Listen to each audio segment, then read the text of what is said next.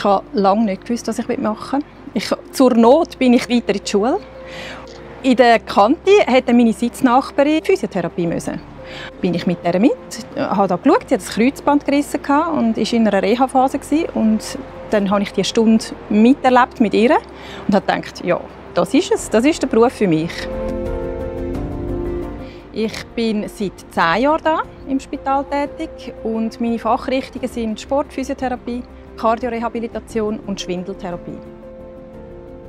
Mich haben Leistungen auch immer interessiert und auch so der Gedanke daran, was braucht es, um so eine Leistung zu erleben.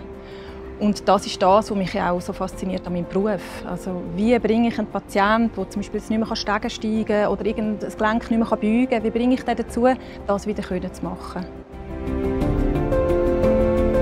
Ich habe im Akutspital schon vor Männendorf gearbeitet. Dann habe ich auch in einer Praxis gearbeitet und mehr ambulante Patienten gehabt. Und zusätzlich auch jetzt mit meiner Sportphysiotherapie-Ausrichtung habe ich lange ein ähm, Unihockey-Nationalteam betreut und auch noch die Nationalmannschaft im Unihockey. Das Besondere an der Arbeit im Akutspital im Vergleich zu anderen Settings ist vor allem, dass man mit Disziplinen sehr eng zusammenarbeitet. Also mit der Pflege und mit den Ärzten auf der Station. Die Gewichtung von uns im Spital ist sehr hoch und das macht es wirklich lässig. Also wir warten auf unsere Meinungen und auf unsere Beurteilungen. Mir ist Arbeiten im Team sehr wichtig. Ich war eben eine Weile lang auch in einer Praxis und dort arbeitet man mehr für sich. Und das habe ich dann gemerkt. Nein, ich brauche ein Team, ich brauche ein Miteinander. Und das kommt vielleicht auch so ein bisschen aus meinem Sozialen. Also ich bin ein Drilling, ich bin nie allein. Gewesen. Ich hatte immer irgendjemanden, gehabt, den ich arrangieren und interagieren musste. Ja, ich, ich brauche das und ich lebe von dem. Wir haben vor allem viel mit der Pflege zu tun. Dunkt mich. Also auf der Station ist, sind wahrscheinlich Pflege so unsere erste grosse Ansprechgruppe und dann aber auch die Ärzte. Und in einem kleinen Bereich, also die beratenden Dienste wie Ernährungsberatung oder ähm, Sozialberatung.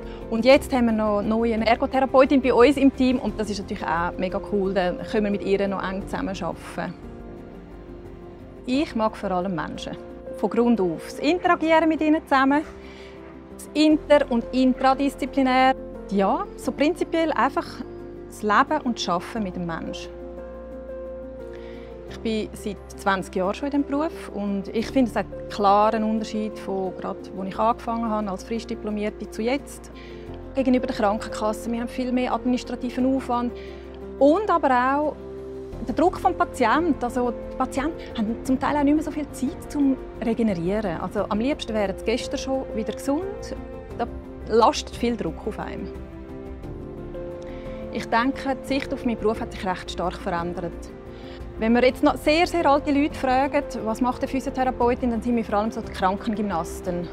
Und die, dieser Blickwinkel hat sich recht stark verändert. Also, wir werden je länger, je mehr Coaches, wo ein Patient coacht, wo dann sein Problem selber in den Griff bekommt. Wir behandeln ihn ja schon noch, aber es ist nicht so, dass ich liege hin und lasse mich behandeln, sondern es ist ein Einstieg mit einer Technik, die wir am Patienten unternehmen und dann aber auch viel Coaching. Wie kommt er durch den Alltag? Was für Übungen muss er machen, damit er eben nachhaltig das Problem kann behandeln kann? Und da da sind jetzt auch viele Patienten darauf eingestiegen und merken, ah ja genau, so läuft es und so ist es gut, so tut es mir gut auch heute, nach 20 Jahren Physiotherapie.